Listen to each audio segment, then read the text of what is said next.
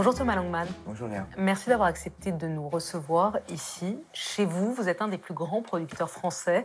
Vous avez produit notamment les Astérix, les films sur Messrine, vous avez produit Star 80, vous avez produit Nos Jours Heureux, vous avez produit Indigène et vous avez aussi évidemment produit The Artist. Il y a cinq ans justement, vous gagnez cinq Oscars à Hollywood pour The Artist, six Césars, plein de prix. Vous êtes le roi du monde. Jamais un Français n'a fait ce que vous avez fait.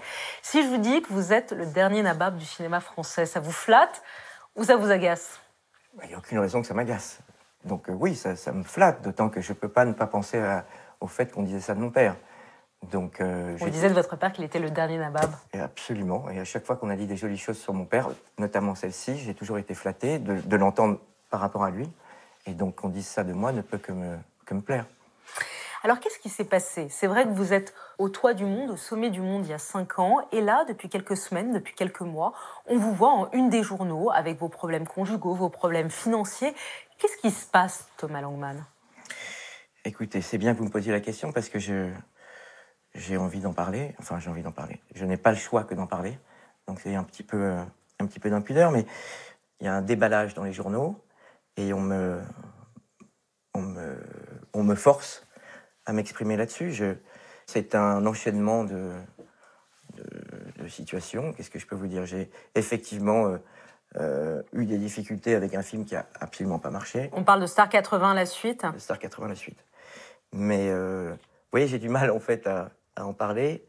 Qu'est-ce que je peux vous dire? Il y a des articles qui m'ont accusé donc de certaines choses, notamment de menaces de violence sur mon épouse. C'est absolument faux. Il n'y a pas eu d'ailleurs de plainte pour menace de violence. Oui, parce qu'on a lu que votre femme, vous êtes mariée avec Céline Bosquet depuis 4 ans, vous avez deux enfants, dont la dernière a quelques semaines. Moi, je ne suis pas juge, il y a une procédure de divorce qui est en ce moment en train d'être jugée, et c'est vrai qu'elle a porté plainte pour harcèlement et menaces. Ce que je peux dire, parce que j'ai pas envie de parler, de me mettre au niveau de certains articles et de certaines déclarations, c'est qu'il n'y a pas de plainte pour menace de violence, il n'y a aucune plainte de menace que j'aurais faite contre ma femme. C'est la mère de mes enfants, comme vous l'avez rappelé. Euh, j'ai porté plainte pour dénonciation calomnieuse. J'ai porté plainte contre tous ces journaux. Euh, et donc, je suis euh, oui, extrêmement fâché de, tout ça. J'aurais aimé qu'il y ait un divorce. Un divorce, c'est une affaire privée. Ça arrive parfois, malheureusement, dans des couples. Avant qu'il y ait un jugement qui soit fait sur la garde d'un enfant, il y a parfois des parents qui, qui prennent l'enfant et qui ne le donnent pas à l'autre parent. Donc, pendant ces trois mois-là, j'ai peut-être beaucoup appelé ma femme. Maintenant, si ça, c'est du harcèlement, je le revendique, ce harcèlement. J'ai harcelé ma femme pour voir mon fils. Mais pourquoi vous avez accepté de nous parler aujourd'hui? Bah, Parce que le sujet, ça va, ça va, être le cinéma et que vous venez me voir pour ça. Mais que c'est vrai que on comprendrait pas avec ce déferlement médiatique que vous m'en parliez pas et que j'en parle pas. Et j'en veux à tous ces articles de presse qui se permettent d'écrire des choses fausses. Je n'ai pas non plus été arrêté en flagrant délit d'achat de cocaïne. C'est entièrement faux. Alors, vos problèmes de drogue, Thomas Langman, vous en avez parlé librement. Vous avez dit que vous aviez été sevré, suivi. encore une fois, c'est ma vie privée. Absolument, mais vous en aviez. J'en parle pas librement, j'en parle parce qu'on m'en parle. Hein. mais, euh, mais là, sur les dernières affaires, vous dites que c'est totalement faux, c'est ça? Alors, puisque peut-être ça intéresse certaines personnes, euh, j'ai eu ces soucis-là. Euh, ils, sont, ils ont duré plus de 15 ans. Ils sont derrière moi. donc, j'ai heureusement, je suis tombé sur des juges qui ont regardé avec des enquêtes sociales, des enquêtes psychiatriques, et qui ont par deux fois, puisque je l'ai eu aussi euh, avec ma première compagne, qui était la, mère de ma fille. Avec votre première compagne, il y a déjà eu une affaire, vous aviez été condamné à quatre mois de prison avec sursis euh, pour violence. Aujourd'hui, vous dites... C'est la seule condamnation que j'ai eue de toute ma vie. Hein. Et aujourd'hui, vous dites, je m'entends parfaitement bien. Je m'entends très bien avec la mère de ma fille. C'est vrai qu'on avait une histoire passionnelle et qu'il y a eu un, un soir, un incident, euh, lors d'une bagarre, où j'ai commis un mauvais geste que je regrette, pour lequel je me suis excusé immédiatement, pour lequel j'ai été condamné, pour lequel j'ai pas fait appel. Il y a eu trois jours d'ITT. Ça date de 11 années. Maintenant, parlons effectivement de cinéma. Parlons de cinéma. Parlons de vous d'abord. Euh, ce, ce, dont on parle, c'est vous avez une vie incroyable. Vous avez eu des très hauts, vous avez eu des très bas. Est-ce que c'est toujours ça votre vie? Est-ce que c'est toujours les montagnes russes? C'est la vie les hauts et les bas, le, cinéma, euh, normalement. Un peu plus que les autres, quand même, non? Oui, peut-être. Effectivement, j'ai eu beaucoup de succès et des échecs. D'ailleurs, on dit que normalement, les succès, c'est les accidents dans le cinéma et que les échecs sont la règle. Vous êtes d'accord avec cette règle? Écoutez, oui, d'une façon générale. Euh, j'ai fait pas loin de 70 millions d'entrées en prenant les films que j'ai produits, en France, et je ne parle pas de Bienvenue chez les Ch'tis, qui est dans ma société, mais qui était produit par mon père. Mhm. Euh, et j'ai fait euh, depuis deux ans des films qui ont plus ou moins pas marché, euh, mais que j'aime beaucoup. Il y en a d'ailleurs qui ont marché. J'ai fait un moment d'égarement de Jean-François Richer avec Vincent Cassel Mm. et François Cluzet, Mm. qui est pour moi un, un très joli film, qui était un remake d'ailleurs d'un film de mon père. J'ai fait un film sur Ilan Halimi, réalisé par Richard Berry, tout tout de suite. Il n'a jamais été question que ce soit un succès. Euh, je ne l'ai pas fait pour ça. J'ai fait aussi le film d'Yvan Attal, qui s'appelle Ils sont partout. Mais à la fin des fins, Thomas Langman, est-ce que vous qui avez fait des immenses succès et des immenses flops, est-ce que vous avez compris pourquoi à un moment le public suit ou pas? Ça, c'est très difficile à comprendre. Euh, ce que je pense, ou je ne sais pas si c'est ce que je sais, mais ce que je pense, c'est que les succès, il faut les désirer, il faut les vouloir. Et que Ça parfois, ne je... suffit pas, ça, de désirer un succès, non?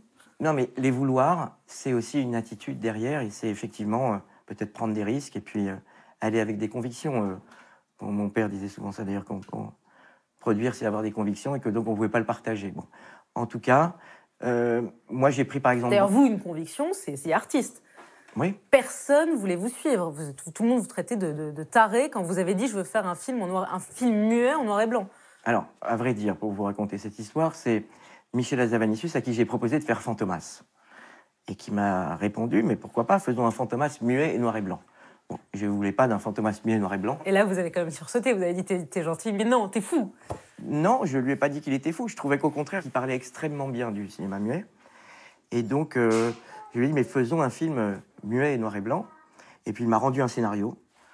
Euh, scénario auquel je n'ai absolument rien touché, sauf peut-être le, le titre.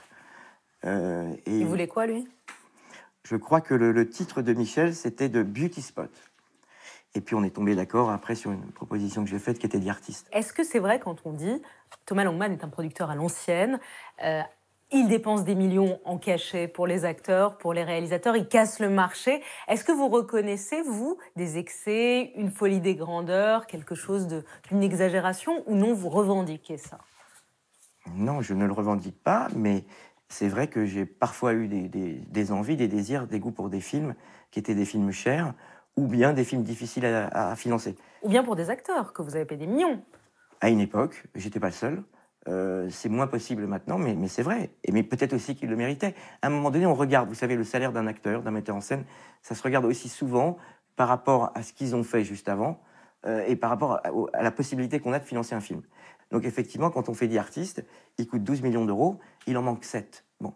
Mais il y a des films qui coûtent 12 millions où il y a 12 millions de financement, de moins en moins. Mais en tout cas, pendant longtemps, c'était le cas. Est-ce que vous avez des regrets? Est-ce que des fois vous avez dit là j'ai payé trop cher Oui, oui, bien sûr qu'il m'est arrivé de, de parfois payer trop cher, mais c'est aussi parfois on le fait. euh, c'est aussi une manière de dire à un metteur en scène, de dire à un auteur que on est heureux de la précédente euh, aventure et que euh, on pense d'ailleurs parfois faire un film à un certain budget, et puis ce budget il augmente, euh, et puis il devient effectivement totalement déraisonnable. Mais est-ce que cette- ce rapport au cinéma, c'est pas un rapport qui est terminé? Est-ce que c'est pas le passé au fond?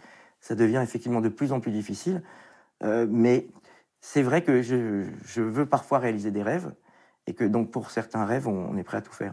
La Petite Reine, c'est votre euh, maison de production que vous avez fondée quand vous avez 24 ans. C'est elle qui a financé tous ces films dont, on parle. Aujourd'hui, euh, vous avez perdu beaucoup d'argent, vous êtes en procédure de sauvegarde. Et là, je regarde, on est chez vous, je regarde toutes les œuvres d'art que vous avez derrière vous, euh, à côté, là, partout. On dit que vous auriez vendu une partie des œuvres d'art de votre père pour financer et renflouer les caisses de votre boîte. C'est vrai ou c'est pas vrai? Alors, c'est faux, j'ai pas vendu des œuvres d'art pour enflouer quoi que ce soit. J'ai vendu des œuvres d'art, j'en ai acheté. Et j'ai la chance d'avoir un père qui avait une magnifique collection et qui m'a surtout fait aimer l'art. Maintenant, encore une fois, on a dit beaucoup de bêtises dans la presse. On a envie de raconter que la chute est là, etc. Il y en a beaucoup qui vont être C'est aussi romanesque, j'ai envie de Oui, vous c'est dire. là. romanesque. Là, Bien ça- D- D'ailleurs, bien c'est sûr. cinématographique. Bien sûr. L'ascension puis la chute. Bien sûr. Et- mais si Mais on là, ce que vous voulez dire, c'est qu'il n'y a pas de chute. Ah, pour le moment, mais pour- euh, non, je ne vais pas en raconter une qui n'existe pas pour le moment. Vous êtes en train de produire, vous êtes en projet, et il y a plusieurs films qui sont en production actuellement avec La Petite Reine. Bien sûr. Il y a un projet de, de comédie musicale avec Edith Piaf. Qui va jouer? Il y a effectivement une chanteuse euh, qui est, à mon avis, une future très grande actrice qui s'appelle Zaz. Ce sera elle qui jouera, qui jouera Piaf. Ce sera elle. C'est une exclue que vous nous donnez, là Oui. On le note. Euh, Thomas Langman, vous êtes aussi ce que vous êtes parce que vous venez d'une famille mythique. Il y a votre père, évidemment, Claude Berry, il y a votre mère, Anne-Marie Rassam, il y a votre oncle, le légendaire producteur, qui est là en photo d'ailleurs. Peut-être le montrer. Ça, c'est votre oncle. Jean-Pierre Rassam, Oui, qui était un- le producteur de Polanski, de Godard, qui est un peu votre. C'était là, c'était le, le nabab absolu, lui, non? Oui, et c'est le père de, de Dimitri Rassam. Voilà, qui est lui-même producteur, Absolument. qui est la- le fils de qu'il a eu avec euh, Carole Bouquet. Absolument. C'est beaucoup de noms. Et Votre c'est le frère de Paul Rassam, qui est également distributeur voilà, Et qui votre- est vivant, et qui est vivant. Et Et, qui votre est- tante a vécu avec Maurice Pialat. Tout ça pour la faire sœur un- de mon père. oui, tout ça pour faire un immense name dropping pour dire que cette ascendance immense, magnifique du cinéma, c'est une chance ou c'est un poids? Non, c'est forcément une chance. Après, que ce soit pas forcément euh, facile, c'est chacun son histoire et les, et les difficultés qu'elle comporte. Mais, Parce qu'il y a eu immense- beaucoup de drames dans cette famille. Votre oncle Oui. s'est suicidé, mais votre avant, mère également. avant qu'il y ait eu des drames, il y a eu des moments euh, magnifiques. Et c'est souvent, parfois aussi dans le drame, qu'il y, a- il y a aussi beaucoup de belles choses. Et parfois, on rit beaucoup. Et je dois dire que j'ai j'ai énormément de souvenirs pour plusieurs vies euh, de ce que j'ai vécu avec ma mère, de, de tout ce qu'on m'a raconté de Jean-Pierre, de ce que j'ai la chance de vivre avec mon oncle Paul, qui est un petit peu le- l'encyclopédie et celui qui peut apprendre à mes enfants et, et passer justement toute cette histoire. C'est qui votre modèle? C'est Jean-Pierre Rassam, votre oncle ou c'est votre père? J'ai pas de modèle, ni mon père, ni, ni Jean-Pierre Assam, ni, ni ma mère. J'ai bien sûr que, que la figure de mon père, je, depuis qu'il n'est plus là, j'ai forcément euh, encore plus euh, souvent euh, envie de, de parler de lui ou, ou, je, ou je vois forcément des parallèles.